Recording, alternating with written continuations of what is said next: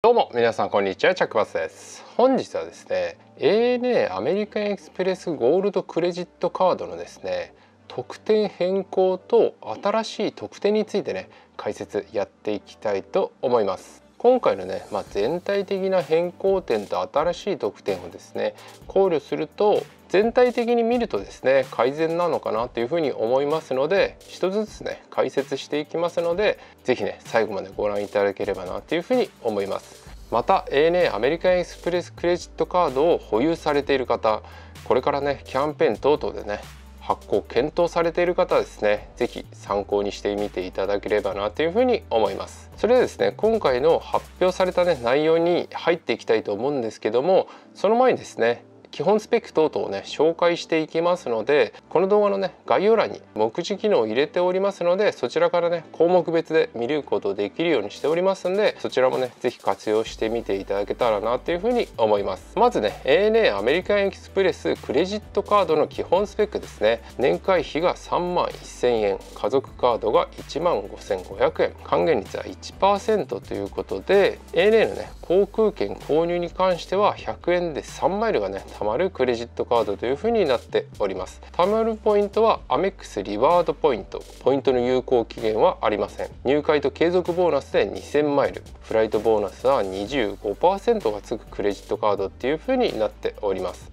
ANA ねゴールドクレジットカードの中でも年会費がね高い ANA アメックスゴールドクレジットカードなんですけどもそれでもですね入会キャンペーンで大量のマイルがね獲得できたりとかですね。ANA の航空券購入で100円で3マイルがね貯まったりとかですね。またはデザイン性もねかなりかっこいいクレジットカードということで人気のあるねクレジットカードという風になっております。そんなね ANA アメリカンエクスプレスゴールドクレジットカードなんですけども2020年の9月1日からですね新しい特典と変更がねされるっていうことになります。ちょっとねざっと書いたんですけども ANA スカイコイン獲得プログラムスマートフォンプロテクション手荷物宅配サービス航空便遅延費用保証海外旅行保険改定っていう感じで全部でね5項目はね追加になるということなんですけども ANA スカイコイン獲得プログラムスマートフォンプロテクションサービスについては2020年9月1日からね開始になるという感じになりまして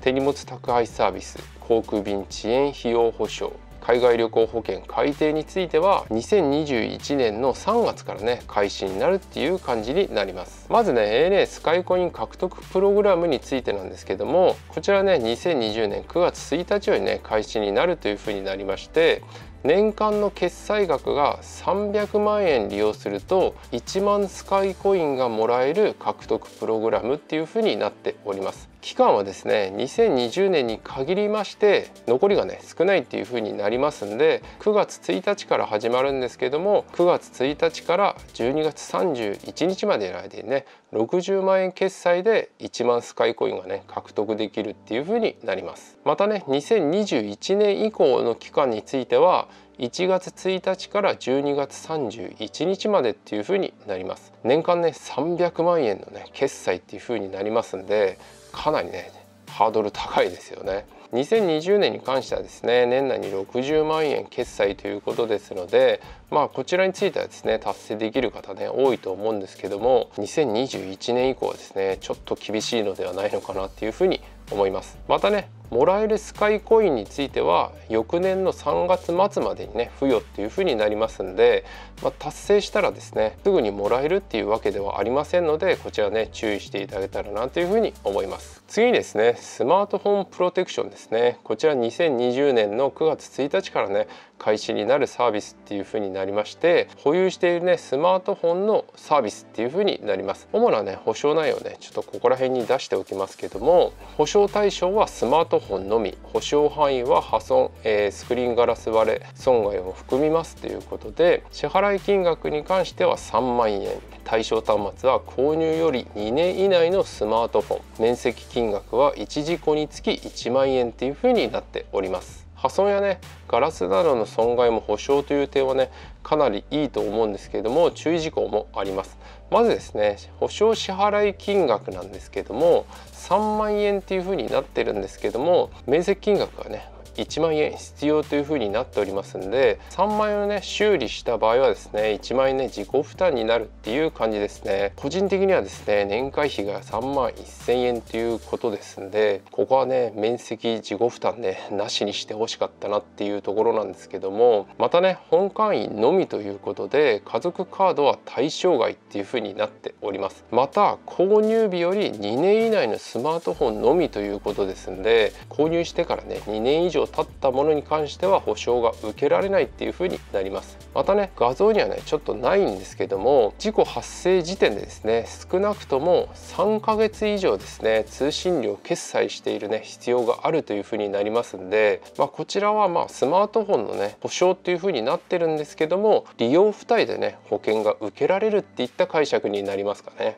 次にですね手荷物無料宅配サービスですね。こちらは2021年の3月よりね開始になるサービスというふうになっております。現段階でですね手荷物宅配サービスに関してはこちらの ANA アメックスゴールドクレジットカードのねサービス自体はあるんですけども羽田空港がね対象じゃなかったわけなんですよね。これが今回の改定で羽田空港もね対象になったっていうふうになります。こちらはですね羽田空港メイン空港にされている方はかなりね大きいメリットになるのではないのかなっていうふうに思います。手荷物宅配サービスに関してはですね1回2000円からね3000円ぐらいのねサービスっていうふうになりますんで個人的にはですねこの手荷物宅配サービスねかなり利用しますんで今回のこの改定はねかなりいいのではないのかなっていうふうに思います。またこちらについてはですね何か手続きは必要なわけではなくてですね当日の搭乗券とクレジットカードをね持っていけばですね利用できるっていった感じになります。次にね海外旅行保険ですね。航空便遅延費用保証がね追加されました。こちらは2021年の3月よりね開始っていう風になりまして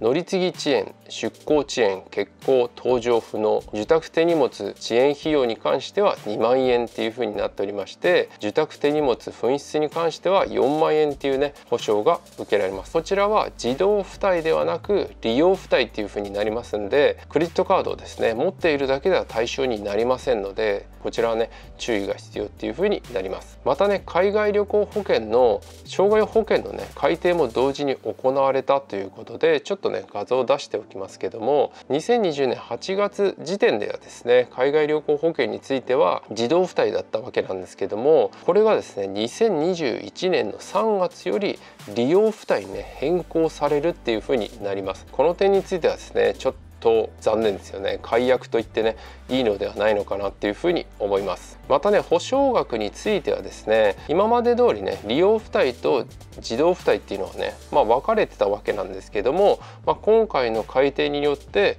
利用付帯1本になりましたので今までの利用付帯の保証額はまそのままね引き継がれたっていう感じになります。またこの利用付帯に関してなんですけども基本的にはですね航空券の決済だったりとか現地のホテルっていうね決済またねツアーの決済ねイメージする方がね多いと思うんですけどもアメリカンエクスプレスのね規約を見るとですね空港までの電車代またねリムジンバスの費用なども OK というふうになっておりますんでもしねこのカードをね利用するのであれば行きの公共のね交通機関の支払いをですねこちらにしていただくと保証がね受けられるっていう風になっておりますんでリムジンバスをね利用する人は衣類内ね結構分かれると思うんですけども空港までね電車で行かれる方はですね結構多いかなという風に思いますのでこの点はね覚えておいていただけたらなっていう風に思います。いかがだったでしょうか？今回ですね ANA アメリカンエクスプレスゴールドクレジットカードの変更と新規特典についてね解説させていただきましたけども